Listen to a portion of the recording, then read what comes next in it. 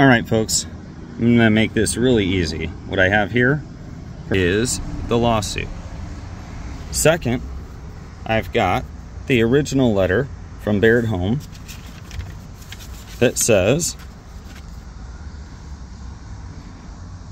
While playing the tape, Miss Adamson was asked to step away from the podium for refusing to provide her address. Now, based on that, the Office of the Attorney General, and again, you can see the date, says Ms. Adamson was not removed from the podium due to the content of her speech, but rather because she did not provide her address. Now,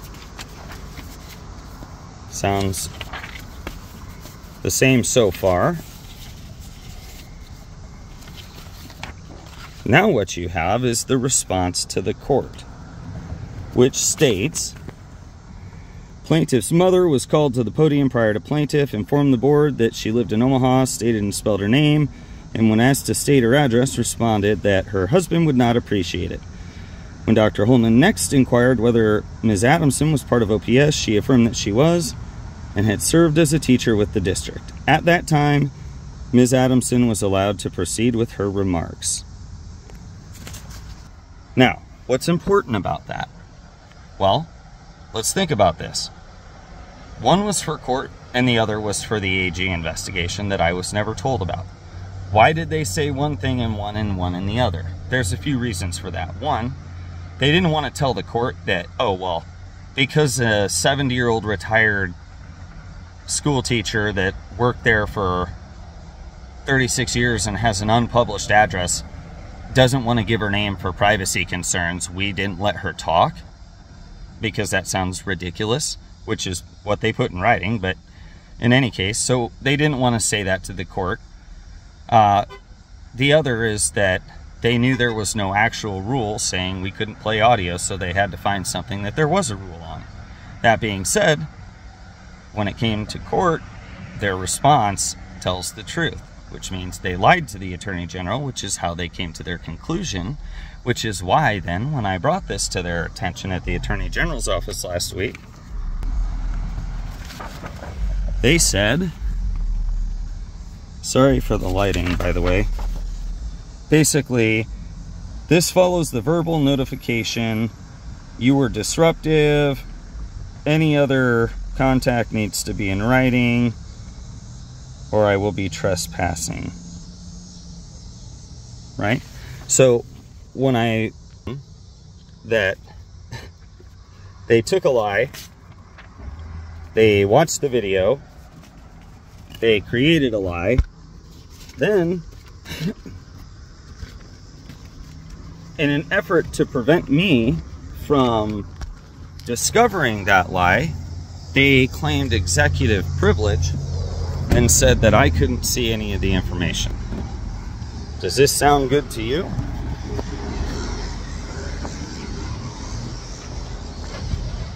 So, now I'm back and I'm to force them to discuss this situation and see how this goes because I always get lied to anyways.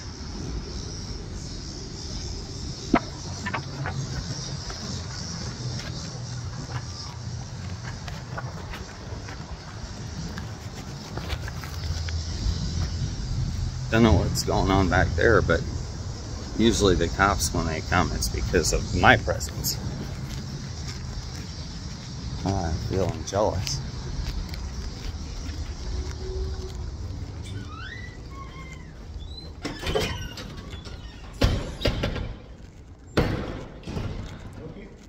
Is Ms. McFarland available? Um, do you know what office she's in? Um, she's the one that runs like public records requests, the meetings, McFarland. Yeah, this girl coming in right here, this. Oh yeah, she knows. Perfect.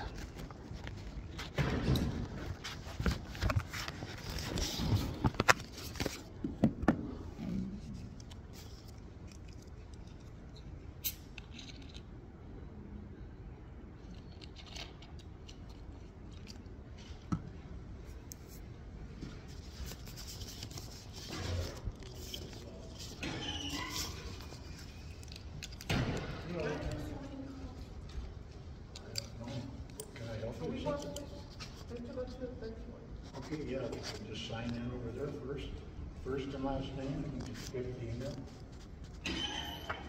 Will You don't have to translate, please. Okay. They said I didn't need it, but you just need it, it was like, dang. Hey. Hi, how are you? Good, how are you? Good, You can give stuff to Ms. McFarland, right? absolutely. This I would like you to give to her. That's Okay. the lawsuit I filed. Okay, Um, and then is she available? Because I want to show you something. Let me show you before you even check. I want to show you something. This is going to blow your mind because okay. I, I think it's important for you to understand, since you see me a lot, why I'm here. So is this from the court or, That's for me, yeah, because I filed it with the court. okay, Read this highlighted little spot there. okay, You, you can read it to yourself or out loud, it don't matter. I just want you to read it so you see what I'm talking about.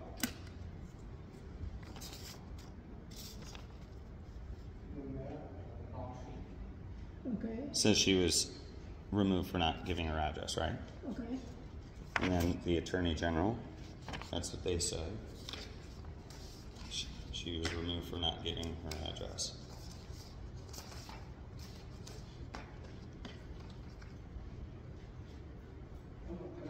Okay, But in response to the lawsuit I filed, they told the truth and said she was removed for playing an audio recording. So, remember how I kept saying that they were lying and I, I knew it? yeah. Yeah, I, I'm. I mean, yeah. you get what I'm saying? I This do. is evidence. And do you know what the Attorney General did last week when I provided them the evidence? They trespassed me. Rather than admit that what they have in writing is false, they trespassed me. Okay, um, Is there like a registration up on the third floor? Yes. Okay, perfect. I feel good to get that off my chest because you probably wondered why I keep coming here, but it's because they No, keep I- lying. So let me see if.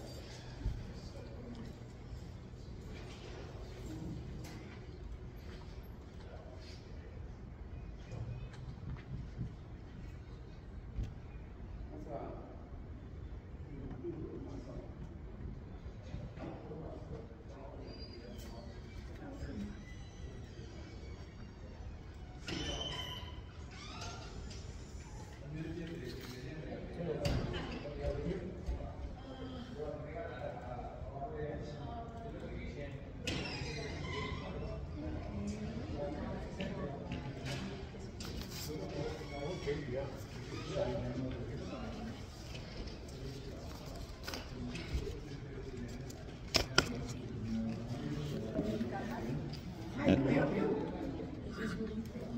we wanna go to, uh, third level. Hi, can you hold on a second? Will you sign in, please? First, last name, so we can know. Um, I'm Mr. Riddle here. Here if you're available. I can see her. Okay, sounds good. Okay, bye. Show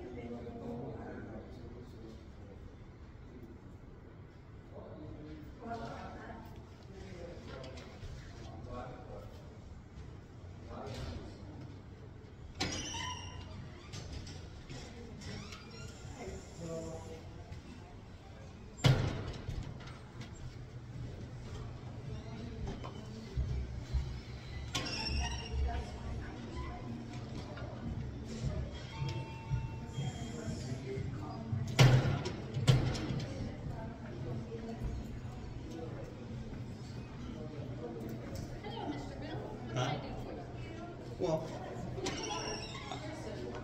this this right here, right? This was Baird Holm's response in 2022. This is something you didn't want to send. Okay. Okay. Miss Adamson was not removed due to the content, but rather because she did not provide her address. Now, based on that, even though they watched the video no differently, the uh, the attorney general says, Miss, while playing the tape, Ms. Adamson was asked to step away the podium for refusing to provide her address. Now, in the lawsuit I filed, the response given by Baird Holm, she affirmed she was and served with the district. At that time, Miss Adamson was allowed to proceed with her remarks. It's only after that that the audio prevented her from continuing. Now, that's all on a, video. I mean, we're not in debate here. She was allowed because nobody's going to say, I'm sorry, you're 70 and a 36 year retiree of this district and don't have a listed address, but we're going to force you to give it or not speak because that would be horrible. Yet that's what everybody put in writing until it came to going to court. Now, why hasn't this been corrected? So, you have a lot of pieces No. of documents. Three here. pieces. Okay, I know, but they're not complete. Like I can see this is a page. Hold on, two. can, but sure, they are complete. I just flipped to the highlighted pages. Okay, okay. So, here's So- Baird Holm, right? So let me, let me just take this one at a time. So this is a letter that is. from Start with the first one, Baird Holm, Okay, because that's the one that started it. okay. So I can't this. This is the letter from Baird Holm, okay? You can speak to the factual circumstances of the meeting, which we both know at this point. She was silenced because of her recording, not because of failure to give an address. So, Mr. Riddle. Which is what they put here. That two individuals brought this as a concern to the Attorney General's office. Mm-hmm. But the response that was given by Baird Holm, which is here, Okay. which you're stopping, you're avoiding the beginning and skipping to where you want to be. And I would like to just, since I'm here, start at the beginning and let's agree. Baird Holm is who wrote this, December of 2021. Okay, It does say Miss Adam, Ms. Adamson was asked to step away from the podium for refusing to provide her address. Is that what this says? I see it there that you. And you sent it, so you know that's what it says. Now, this is the response from the Attorney General in January, right? And we agree on that. So, or do we not agree on that? What, I, I, what you're showing me, yes. Perfect. So it says, Ms. Adamson was not removed from the podium due to the content of her speech, but rather because she did not provide her address. So, if they relied upon your guys' lie in a situation where I wasn't even notified, and now we know why, and then you refused to provide it to me because you looked at and said, oh my gosh, we're in trouble. We lied. So, so that is a bit of a leap there. Okay, So tell me then. all, Just answer. Mr. Riddle, Sure. I can't speak to what the Attorney General's Speak to what OPS did. You've been paying attention. So, but I can't speak to how they interpreted or what investigation. They interpret it the same way it was So- written by your attorney. I also don't have a request for you from this. I don't know, when you're saying that I refuse to provide it to you, I do not recall. Sure, that's I irrelevant. have a request. That's fine. From That I mean that. asking for the Sure. Okay. So let's address the. I'm just gonna set this right here. We're just gonna address this like adults. Do we agree that these documents are documents you saw and have sent?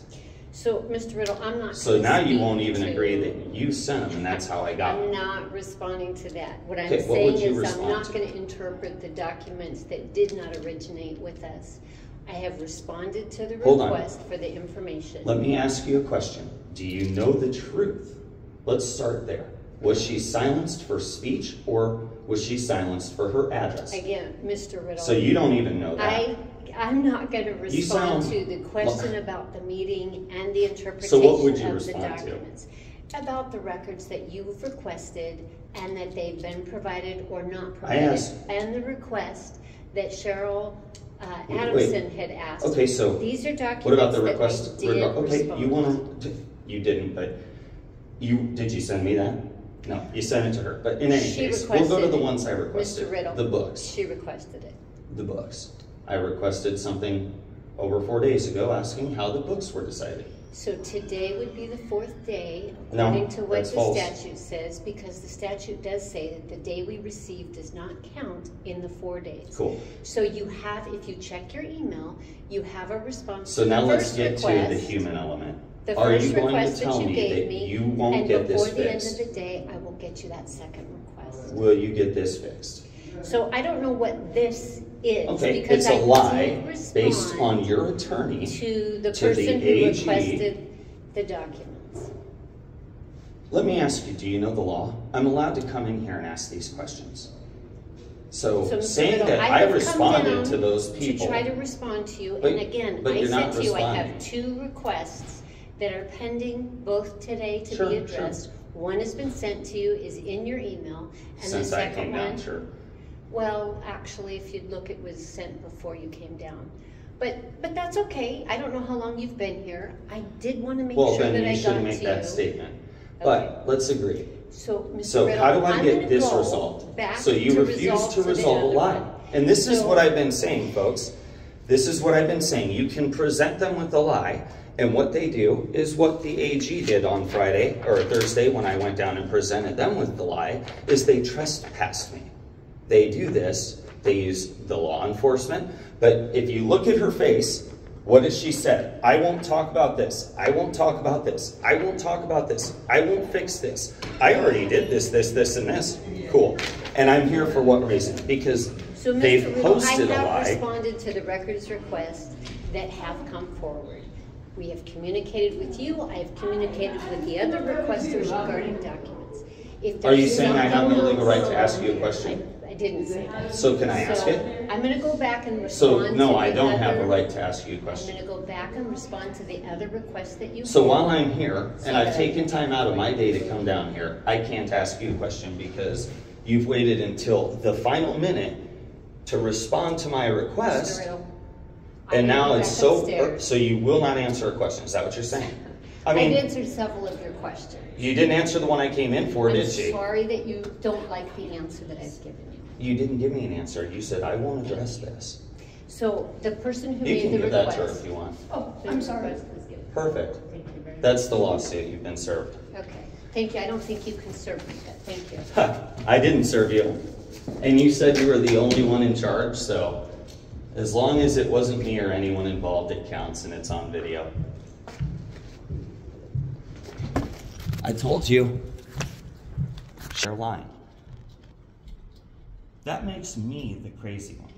I've been gaslit for years about this. She won't answer because they're lying. I proved it. Now she doesn't know or won't address. I mean, let's agree. This is not the way it should work.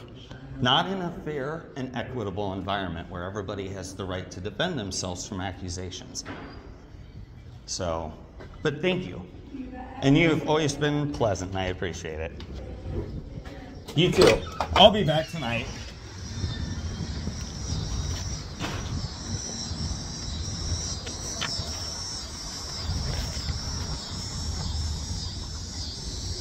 I don't know. Maybe I accidentally flipped it the wrong way, but either way, as long as it's still rolling, I assume you could hear it. And as I said before, even faced with the lie, even faced with their own words, they just cannot address anything because they know they're wrong, and addressing it means I'm right, and that just doesn't work for people with power. Take care, guys. Thanks for watching.